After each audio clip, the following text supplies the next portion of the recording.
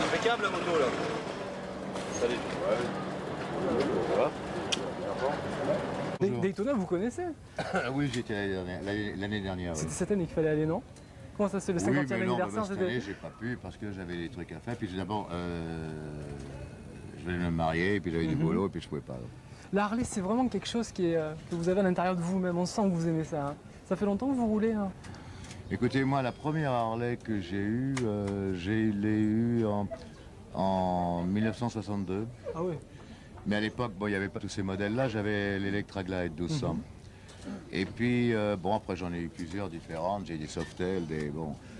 Après, j'ai trahi un peu l'Harley. J'ai eu des Kawasaki. Mais ça, c'était à l'époque où, bon, j'aimais faire un peu de circuit et tout ça. Et puis, bon, ben, moi, je suis revenu à l'Harley parce qu'on revient toujours à. Alors, C'est comme, c'est qu'on on a beau, on a aller dans, on a beau, moi, j'ai beau aller des fois au bout du monde euh, pour trouver des endroits merveilleux, des plages, du soleil, etc. Puis finalement, quand on rentre en France, on s'aperçoit que Saint-Tropez, c'est super, quoi. C'est pas la peine d'aller si loin. Absolument. Qu'est-ce qui fait qu'on revient tout le temps à la Harley Davidson? Ben, pour plusieurs raisons. D'abord, d'abord parce que la Harley Davidson, c'est pas comme une moto normale. C'est-à-dire que euh, les Américains, d'ailleurs, à juste, euh, juste raison, euh, comparent ça à un cheval moderne, un cheval, euh, cheval motorisé. Bon, et c'est vrai que c'est un petit peu le, moyen de locomotion des cow-boys euh, là-bas, dans, dans- l'Ouest. Et puis bon, euh, quand on achète une moto japonaise, bon, il y a des très bonnes motos japonaises qui vont vite, tout ce qu'on veut.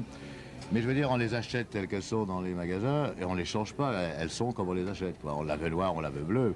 Mais ça, ça reste comme ça. Une Harley, qui, Une Harley, bon, on l'achète dans un magasin, mais on commence. C'est là que le vrai le boulot commence pour euh, quelqu'un qui aime l'Harley. Les transformations, les couleurs, les peintures, euh, les peintures euh, personnalisées, les chromes, changer le carburateur pour en mettre un peu puissant. Les, on trafique les body shops pour qu'il fasse plus de bruit. Bon, enfin, enfin, tout ça, c'est. je veux dire, il n'y a pas deux, à moins qu'elles sortent d'usine, il n'y a pas deux Harley pareils. Je vous ai vu arriver sans casque tout à l'heure? Moi, je roule sans casque, oui. Ah ouais. Oui. Je roule sans casque, je, je mets jamais de casque. Votre démarche, c'est Je pas la me fais vôtre. souvent arrêter, mais tant pis. hein. Ici, bah, vous êtes bien, vous connaissez tout le monde. Bah, c'est chez tout moi, le monde. ici, c'est chez moi ici, je viens, depuis- je viens ici depuis toujours, sauf que moi je me suis fait, fait construire une maison parce que euh, au bout de plusieurs années, les Tropéziens, bon parce que moi je venais l'hiver aussi, hein, je venais quand il n'y avait pas les touristes, euh, les Tropéziens me disaient que j'étais le seul Tropézien qui n'avait pas de maison. alors bon, alors j'ai fini par en faire construire une. Et comme moi je voulais pas une maison toute construite, parce que moi je voulais commencer euh, ma vie dans une maison en- et qu'elle n'ait pas de passé avant, Ouais. euh, et puis je voulais une maison un peu spéciale. Moi, je voulais une maison un petit peu euh, dans, l'esprit hacienda mexicaine. euh. quand je dis hacienda mexicaine, plutôt El Paso, quoi. Enfin, Nouveau-Mexique. Elle est terminée maintenant? Elle est terminée. Oui, on est en train de poser les, les derniers, les derniers bouts de gazon qu'il faut, qu'il faut poser. Alors, Backstage Café, pourquoi? Bah, parce que euh, c'est une idée que Renaud, Page et moi on a eue, euh, dans le sens que backstage, euh, c'est un petit peu le- les coulisses d'un spectacle. Comme moi, je suis en tournée 200 jours par an. Euh, donc, et de- comme il a été avec moi en tournée l'été, enfin l'année dernière, il a fait toute la tournée avec moi. On a eu l'idée de ça et puis on voulait faire un truc sympa euh, comme aux États-Unis, comme il n'y a pas à Saint-Tropez. À- Saint-Tropez, il y, a des- il y a des tas de discothèques qui sont super, qui sont sympas. Il y a, il y a chez Jacqueline Vessière, il y a euh, le Papagayo, il y a, bon, il y a, il y a plein de boîtes. Moi, ce que je voulais faire, c'était euh, à aujourd'hui, je veux dire, euh, dans les temps, dans les 91 qu'on est, c'est-à-dire un petit peu euh, l'idée un petit peu de ce qu'il y avait dans les années 60 au Golf mais revu et corrigé par évidemment par l'Amérique et aussi euh, un petit peu backers quand même, bon. Et avec, avec un orchestre live, il n'y a pas d'orchestre live à Saint-Tropez, donc avec un orchestre live rock'n'roll. Et puis où on va faire par la suite, on va faire un petit peu comme il y avait au Golf Drouot dans les années 60, c'est-à-dire des producteurs de des producteurs de, disques vont venir et on passera des on passera donc des groupes qui ne sont pas encore connus, qui cherchent un contrat un contrat de disque, euh, pouvoir jouer ici et puis pouvoir se défendre et puis pouvoir euh, éventuellement, s'ils sont bons, décrocher un contrat de disque. Vous verrez, les, les gens ici ont un look véritablement particulier. Hein. Sent qu'ils n'ont pas été C'est-à-dire, choisis au hasard. ici, bon, euh, ici, ce local appartenait, enfin, appartient toujours d'ailleurs à, à René Page, qui est le papa, qui est le papa de Renault. Donc, euh, il nous a laissé ce local pour qu'on puisse monter notre truc, où on est partenaires tous les trois. Et euh, bon, bah, c'est tous, des- tous des potes, je veux dire, qui travaillent ici. Et puis bon, ils sont tous un peu le look, un peu Harley, un peu motard. euh, les filles, euh, comme, les, comme, les, comme les gars. En plus, c'est tous des copains. Au niveau, au niveau de l'actualité discographique, vous travaillez en ce moment sur un album qui va sortir incessamment sous peu, Ouais. avec des gens aussi Non, différents, mon- je non, dirais, mon, que album, mon album va sortir au mois de novembre. mois de novembre. Mais euh, je veux dire, c'est un disque que je fais qui n'est pas français du tout. C'est-à-dire que je Ah fais bon un disque très américain dans le sens que ce sont des, pour ainsi dire, que des Américains qui, ont, qui en ont composé les, qui en ont composé les musiques. Et euh, bon, il y a des, il y a Chris Rea, il y a Tony Joe White, il y a, euh, il y a, il y a Bon Jovi, il y a Eric Clapton. Bon. Et le seul français qui m'a écrit, euh, écrit une chanson, c'est euh, Patrick Bruel, qui m'a écrit, un- très beau slow, d'ailleurs, un petit peu dans l'esprit de euh, Casser la voix. Pourquoi je me suis éloigné pour ce disque un petit peu de la, de la- musique française? C'est tout simplement parce que j'enregistre ce disque en français pour la France et les pays de langue française, et je fais également ce disque en anglais pour les États-Unis. Les États-Unis et le Japon, et l'Europe. Bon. Donc euh, c'est un petit peu volontaire de faire un petit peu une musique qui est beaucoup plus américaine que française. Mhm. C'est-à-dire que ce ne sera pas un disque variété du tout. Quoi. Comment est-ce que vous avez choisi justement Chris Rea, Bon Jovi et tous les autres Bah, bon Jovi, c'était. Bon, ça a commencé avec Bon Jovi, il est venu tout simplement. Il, est Il venu... roule en Harley. oui, je sais. Euh, il est venu voir mon concert à Bruxelles euh, l'année dernière, enfin l'hiver dernier. Et puis, euh, bon, il a dit, mais c'est marrant parce que c'est. Je pensais pas que les Français savaient chanter du rock. J'ai dit, bon.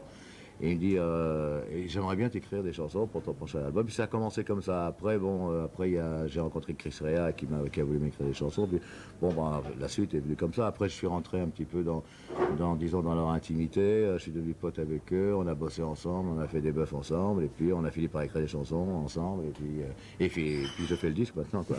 Mitsu, ben, Mitsu, l'ancien DJ qui travaille à Énergie. tu peux nous faire quelque chose là parce qu'il a une voix inimitable. Ouais, vas-y. Je sais pas, qu'est-ce que tu veux que je te dise Je sais pas, euh, euh, qu'est-ce qu'est-ce que tu fais le soir Présente sur un Europe disque, 2 par exemple ben, Ça va me faire plaisir de vous présenter un nouveau 45 tours qui est vraiment très très chaud, ces derniers 45 tours d'Adeline. Le premier 45 tours d'Adeline. Good, good. Par exemple. D'accord. Oui. Renaud Mais Page. encore Renaud Page qui est euh, associé dans, cette, euh, dans ce bar très moderne, très, très doux. J'ai remarqué qu'il y avait beaucoup de Perrier là. Euh, la journée, oui, toujours. Ouais. Et le soir, c'est Le soir, c'est plutôt whisky. Jack Daniels, euh, whisky américain, bourbon Pas de ou, euh, publicité, pas de publicité. D'accord, effectivement, nous on risque d'avoir des problèmes. on va passer le micro à ce monsieur parce que vous appelez Patrick et vous êtes le directeur de Europe 2. Euh, directeur euh, de Radio Saint-Tropez, responsable Voilà, de la c'est station. ce que je voulais dire. Ça, ça marche bien, c'est pas trop difficile de faire de la, de la radio euh, dans un endroit comme ça euh, Pas du tout, non. Non, puis Comment est-ce que vous fonctionnez 1982, euh, la radio existe, elle tourne bien. Et puis bon, on a l'habitude de recevoir Johnny euh, euh, chaque année dans l'émission Le Club des Stars, régulièrement, avec Patrice Laffont. Puis maintenant, nous sommes avec Mitsu, puisqu'on a l'émission backstage euh, 17h, 17h35 sur les ondes. Et ça va chauffer. D'accord, on va passer le micro à Mitsu. Moi j'aimerais un petit peu que tu me parles de l'ambiance d'ici. Ben, l'ambiance, l'ambiance, elle est, elle est rock, c'est une bonne ambiance, et c'est nouveau, Johnny vous l'a dit tout à l'heure. Dis pas de conneries. hein. On, a, on, va, on va essayer de recréer un petit peu l'ambiance du Golf Pro. Bon, c'est vrai qu'il y a beaucoup de gens, la nouvelle génération, ne connaît pas le Golf Pro, peut-être de réputation. Moi, je l'ai connu un petit peu vers la fin. Et puis, c'est surtout de pouvoir aider. euh, En fait, le but de l'opération au départ, c'était de faire un café-concert et de pouvoir écouter des groupes jouer en direct. Ça, c'était important. Non seulement il n'y en a pas à Saint-Tropez, mais ça manque dans la France. Même dans toute la France, on a du mal à trouver un endroit. Et la preuve, c'est que je reçois entre 10 et 15 cassettes par jour de groupes qui veulent passer ici Ça jouer en live parce qu'il n'y a pas d'endroit. Mmh. C'est pour ça qu'il y a eu ces versions où ils ont, ils, ont, ils ont arrêté de prendre des batteurs avec des boîtes à rythme, etc. Maintenant, les groupes sont contents. D'abord, ils remettent des coups de pied dans les boîtes à rythme et ils reprennent des batteurs. Donc, c'est une bonne chose. Ouais, Il y, y a- il y a quelque chose quand même qu'il faut dire, c'est qu'ici on n'accepte pas les boîtes à rythme.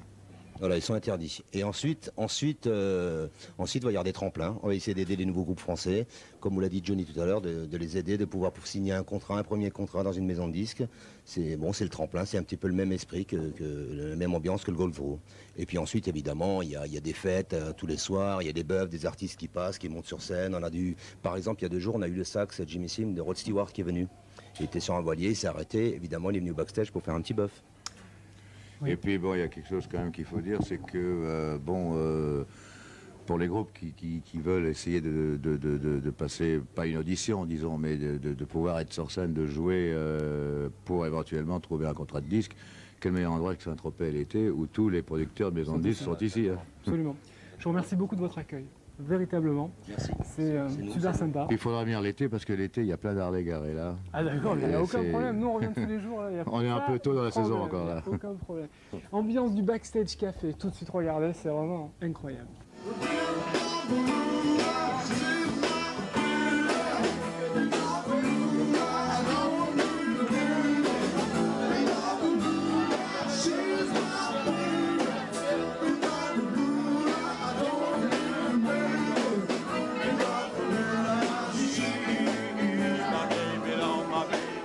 You're unbelievable.